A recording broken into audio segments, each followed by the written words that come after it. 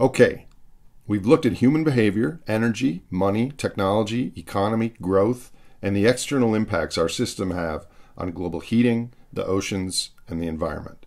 Now let's put this all together. I believe we are at a cusp in our species history where it's both possible and necessary to look at the really big picture. What follows in this video is my own synthesis, but it's based on the work of many other scientists across many disciplines. It's not a cheerful story, at first blush, but it's a clarifying one. So many people, your age and older, are anxious, depressed, uncertain, and worried about our current situation. I believe understanding this situation is the first and necessary step towards mitigating the worst, adapting to what's ahead in creative and pro social ways, and planting seeds for emergent cultural change in the decades ahead. Here goes. Okay, we live in a time of paradox. We've had a 12 year plateau in conventional oil production, yet the price is still under $60. U.S. oil production just hit an all time high. We have widespread recognition of human caused climate change, massive investments into renewable energy, but globally, carbon dioxide is still increasing at the highest rate in history. For the majority of people in the developed world, growth, measured by income after expenses, ended over a decade ago yet stock markets are still at all time highs. Everyone's somewhat worried, but no one talks about the actual threats and issues on TV or in public. We live in a time of myth. Demand for oil will drive up due to self driving electric Uber taxis. We're going to begin manned space colonies by 2030 on Mars. The global economy will be growing at 20% per year by the year 2060 we will grow our economies, mitigate climate change, and solve global poverty and inequality using solar, wind, and smart grid tech. Humans will be extinct from climate change by 2025, and many, many more of such ideas. So, what is our most urgent challenge? Political dysfunction, climate change, ocean issues, overpopulation, pollution, species loss, social justice, poverty? Which of these things is the most important depends on someone's perspective and perhaps value system. But what if they're all related? Okay, we're going to first do a recap of the previous videos. Ecology. There are trophic pyramids in nature. Underpinning all levels is the energy from our sun. Animals at different levels optimize foraging strategies to access energy surplus. Organisms and ecosystems self organize so as to better access an energy gradient. For example, a tree grows the exact amount of leaves that maximize its surface area in order to degrade incoming sunlight into photosynthesis. Okay, we learned about human behavior. Humans are adaptation executors, not fitness maximizers. We go through our days trying to attain the daily emotional states of our successful ancestors. Humans are among the most social creatures on earth. Because of that, we live as part of a system that suppresses the wants and needs of the individual for the greater goals of society, which nowadays are profits and quarterly earnings. As discussed in the time blindness video, we have steep discount rates and we prefer to consume rewards today as opposed to deferring them to the future for good biological reasons. Okay, the energy money economy section. As discussed in those videos, our society generally misunderstands the origins and reasons for our current vast wealth. We are energy and resource blind. Every single good and service that generates GDP requires an energy input. We've gotten slightly more efficient over time, on average about three tenths of a percent per year, but globally, energy and national income are tightly linked and will remain so. Relative to 200 years ago, we have massive extra calories added to our global system from fossil carbon, gas, oil, and coal, which we pull out from the ground to boost our labor force, powering our machines, technology, and heavy industry. This has led to a 14 fold increase in global income since 1800 and a 24 fold increase in income for the average American. This fossil carbon is not unlimited, and we've already found and used the cheapest and easiest. There's plenty left, but it's more costly in energy, dollar, and environmental terms. And finally, since energy is so ubiquitous in the processes that underpin our daily lives, everything gets more expensive if energy cost goes up. This will be a theme that we will become well aware of in coming decades. Okay, so those are some of the fundamentals. So, what happened? How did we arrive at this place with all the issues we're currently facing? For 290,000 years of our species' history, we were roaming bands of a hundred or so people in Africa. Around 10,000 years ago, the climate warmed, glaciers receded, and in no fewer than five places on Earth, humans started agriculture, which led to villages, cities, and eventually nation states. This new phenomenon of agricultural surplus allowed some members of society to do jobs unrelated to agriculture. It doesn't seem like it, but this would be the critical shift in human behavior, organization, and impact. For most of history, humans appropriated primary capital from nature, turning it into useful things as secondary capital, and then having some sort of monetary marker gold, beads, wampum, eventually money that acted as a lubricant for commerce.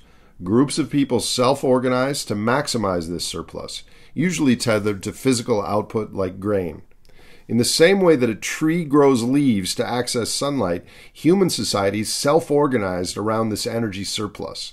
Ronald Wright, in A Short History of Progress, writes What took place in the early 1500s was truly exceptional, something that had never happened before and never will again. Two cultural experiments running in isolation for 15,000 years or more at last came face to face. Amazingly, after all that time, each could recognize the other's institutions. When Cortez landed in Mexico, he found roads, canals, cities, palaces, schools, law courts, markets, irrigation works, kings, priests, temples, peasants, artisans, armies, astronomers, merchants, sports, theater, art, music, and books. High civilization, differing in detail but alike in essentials, had evolved independently on both sides of the earth.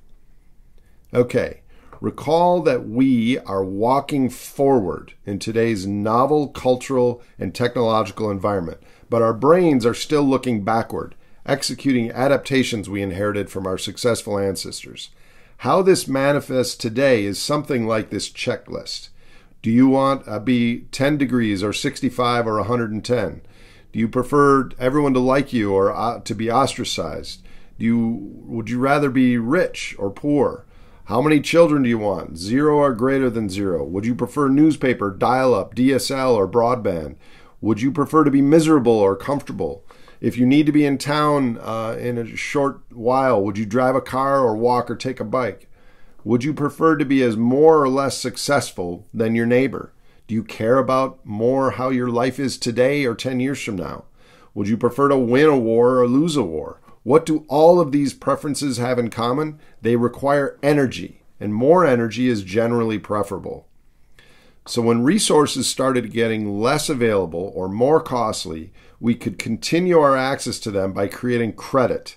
The resulting amount of credit globally has grown by a larger amount each year than our economies have for the last 50 years. This dynamic of consuming today what we couldn't really afford without credit applies to individuals, to countries, as well as to actual resources. This conceptual graph shows how a normal resource pool, for example, oil, might change when people can borrow money to spend on complicated technology to access more of the difficult portion of the resource. It does increase the total size of the resource, but it also increases the rate at which it depletes after it begins its decline. Okay, so let's fit all this together.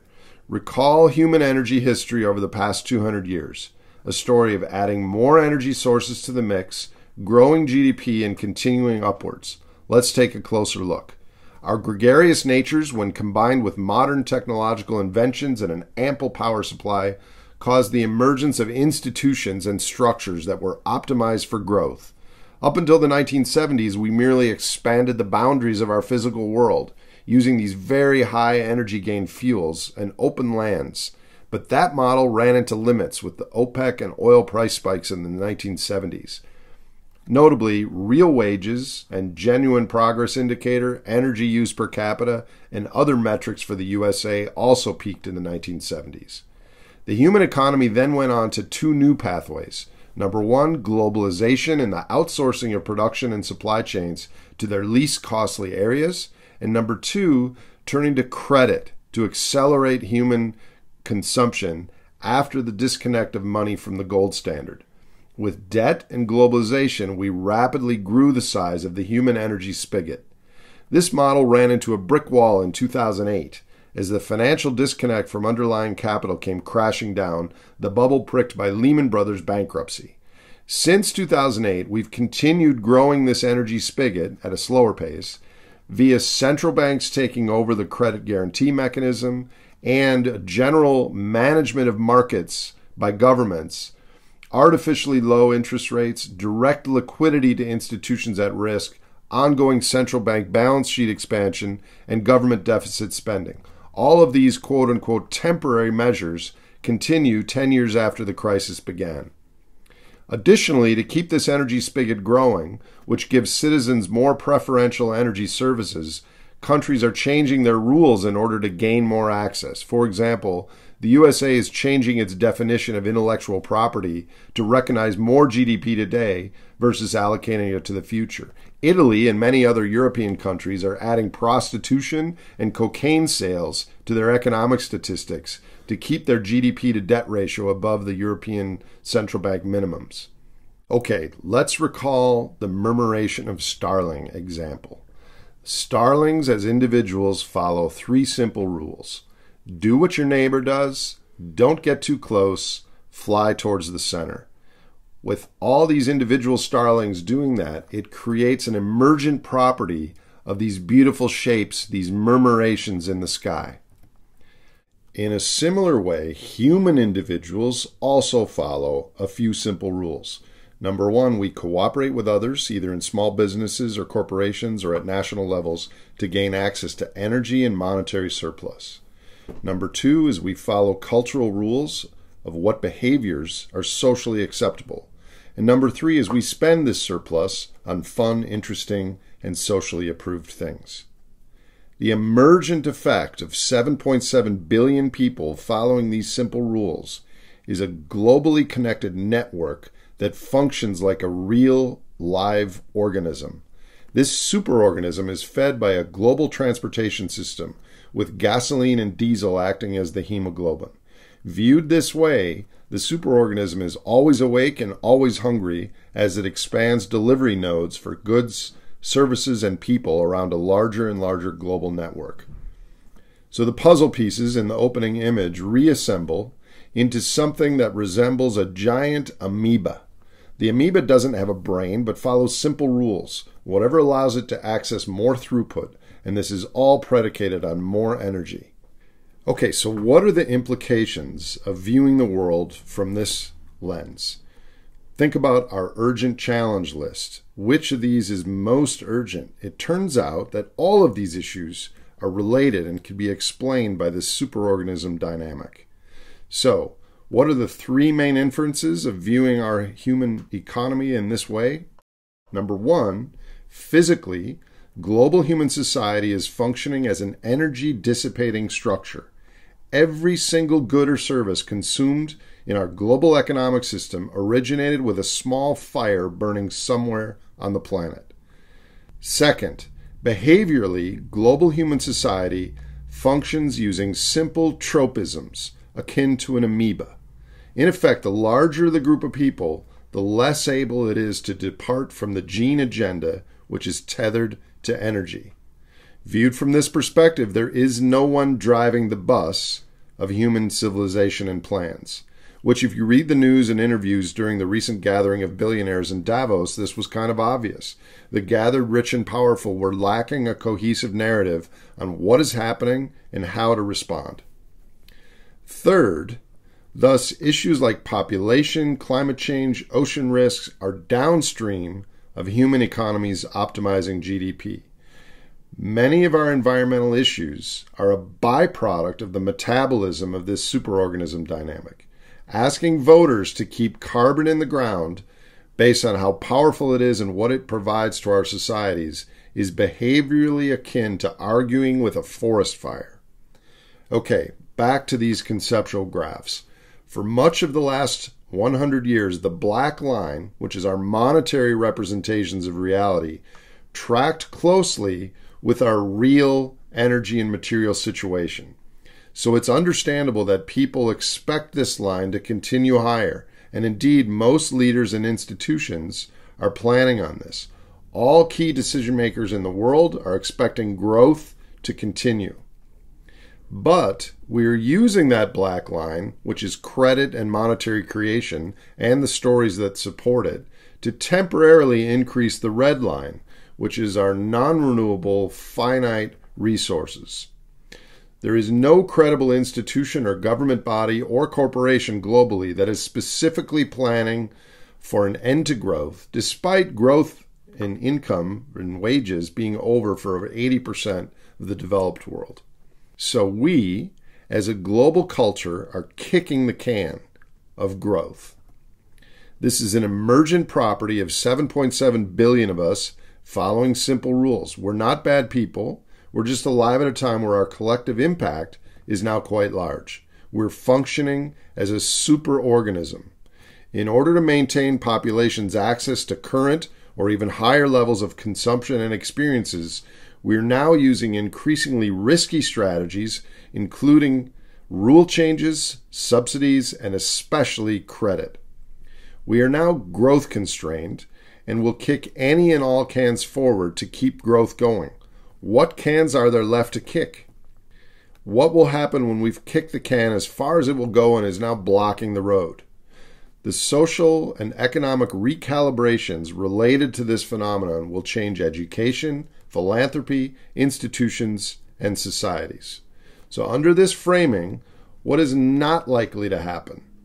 Growing the economy and mitigating climate change and the mass extinction is unlikely.